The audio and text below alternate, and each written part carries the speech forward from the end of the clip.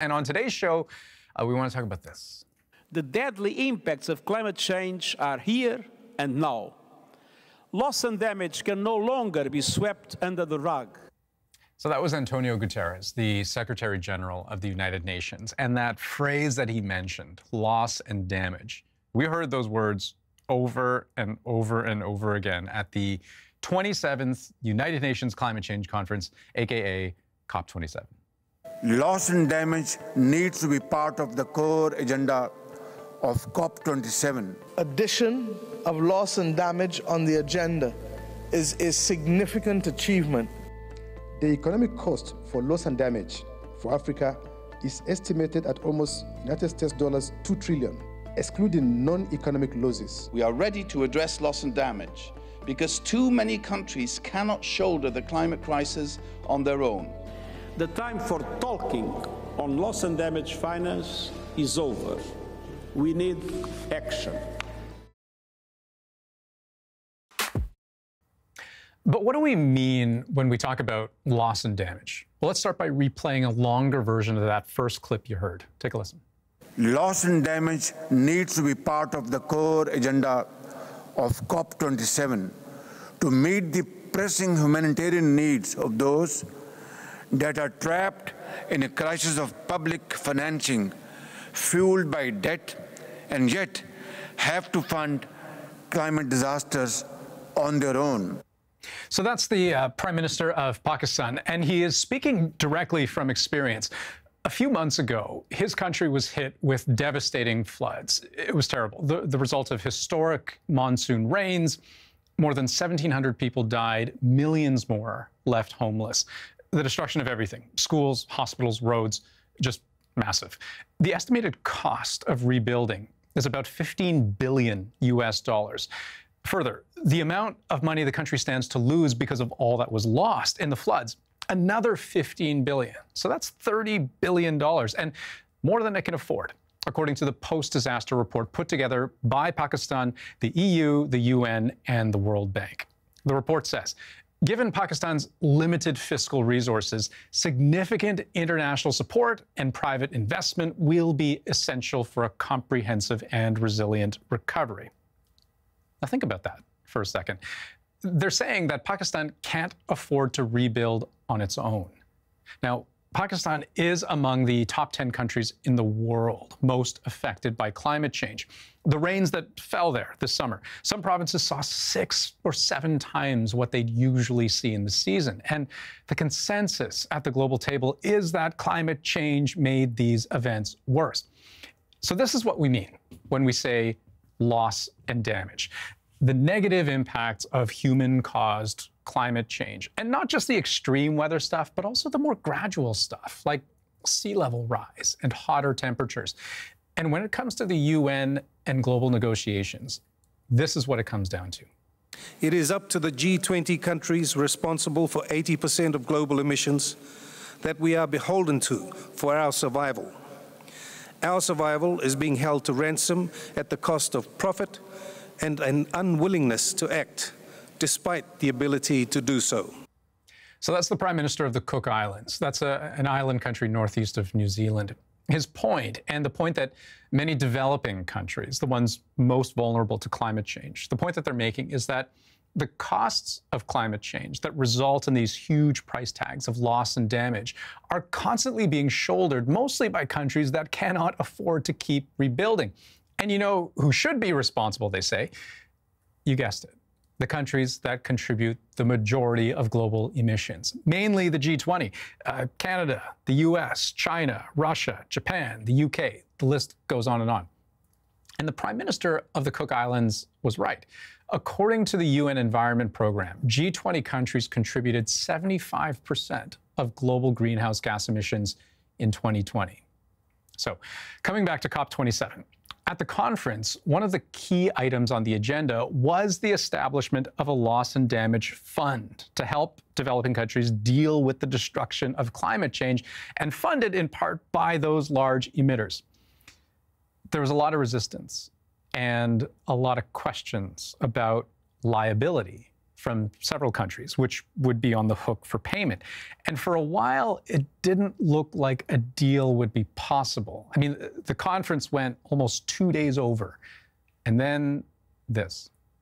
Today, here in Sharm el Sheikh, we established the first ever dedicated fund for loss and damage, a fund that has been so long in the making.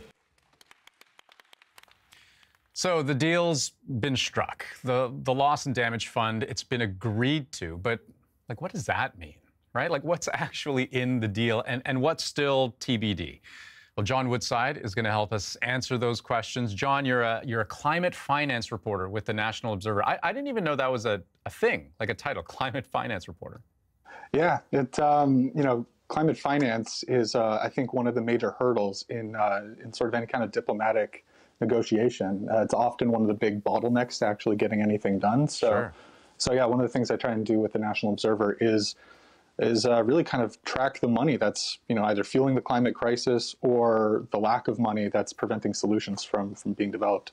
And and you were in Sharm el Sheikh, uh, Egypt, for COP27. You just recently got back. Can you tell me a little bit more about those sort of precious overtime moments that we were, you know, mentioning earlier? So, like, which countries have agreed to to what exactly? Right. So, I think the biggest uh, takeaway from COP27 this year was the creation of this loss and damage fund, or at least an agreement to eventually set this up. What was agreed to in Egypt was basically a year long process where now there's going to be a transitional committee set up of, uh, of about two dozen countries that are going to that are going to have to hash out the details and report back next year on what this fund might look like. So at this point, we don't know which countries are going to be involved, but we do know that every country in the UN system has agreed to saying that this is an important thing to do. Um, so that's the rich, wealthy, polluting countries, as well as developing countries, vulnerable island states. All sorts of countries have agreed to this. So it is really a sort of a whole global uh, agreement that's been set up right now. And, and, do we have an idea of which countries would be on the receiving end? So, so who would be entitled to compensation? Right. So I think this is actually going to be where the really where the fight plays out, because a fund like this, a loss and damage fund, is supposed to compensate uh, poorer countries. Um, in, in, the language of the system, we're talking about the quote unquote developed countries paying into a fund, and then the quote unquote developing countries being able to access it. The fight that's happening now is uh, is basically to say, well, maybe maybe the pool of donor countries should be expanded because the developed you know the, the developed label would not apply to countries like uh, China. Now, hold on. Uh, I wondered to myself as John was saying this, how is it that China can be considered a developing country? Well, it turns out all of these labels are actually just kind of arbitrary, and that within many organizations, countries actually self declare whatever it is they think they ought to be. And, and China indeed does claim developing country status within many of these organizations. This is despite the fact that it has something like $18.3 trillion in GDP, uh, second only to the United States. And in terms of climate, in 2020, it was by far the largest emitter of greenhouse gas emissions.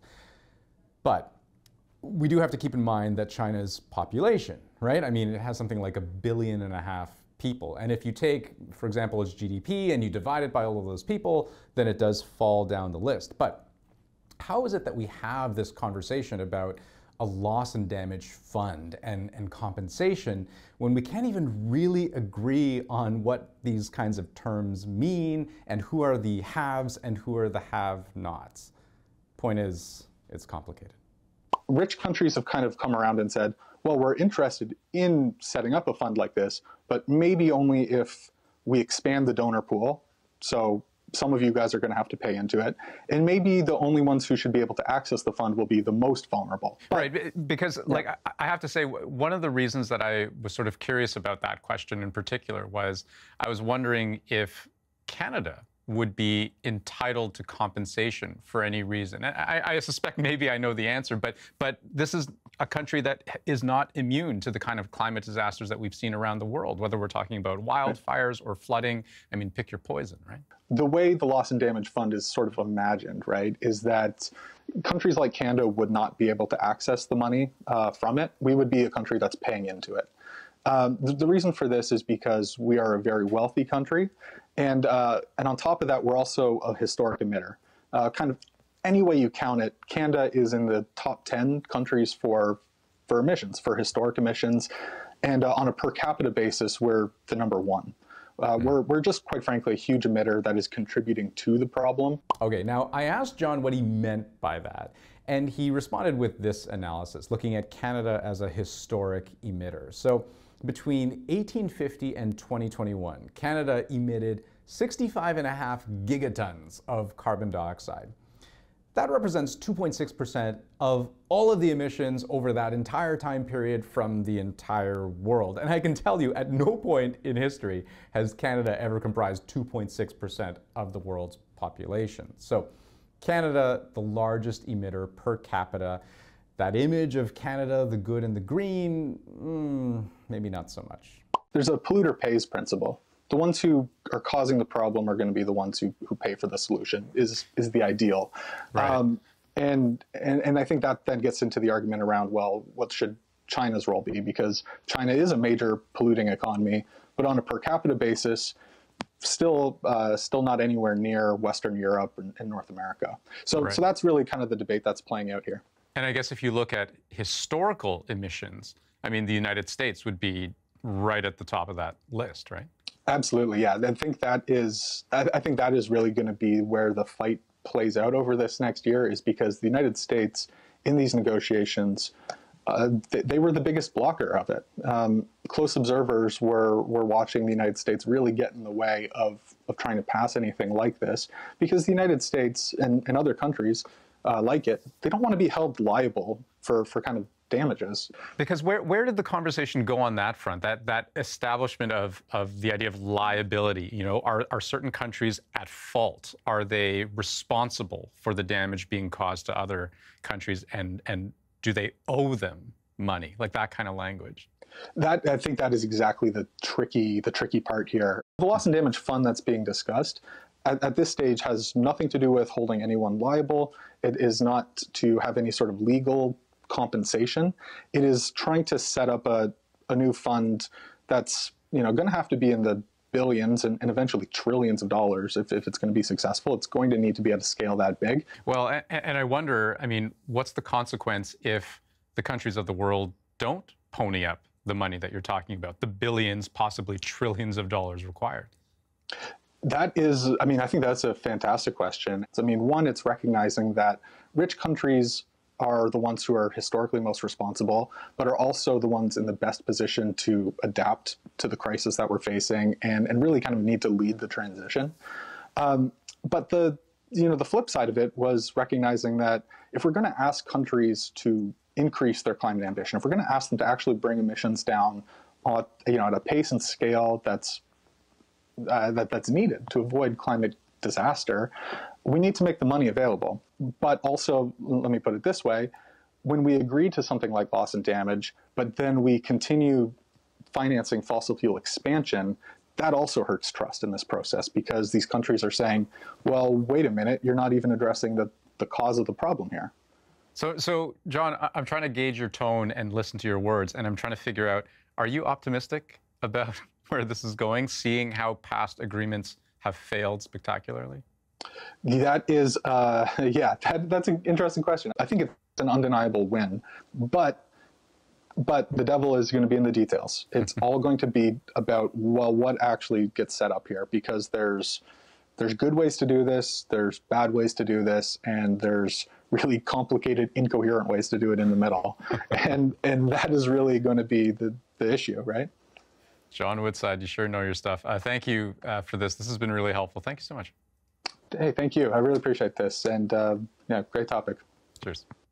Okay, so bottom line looks like there's still a lot of details to be worked out uh, about this loss and damage fund over the next year.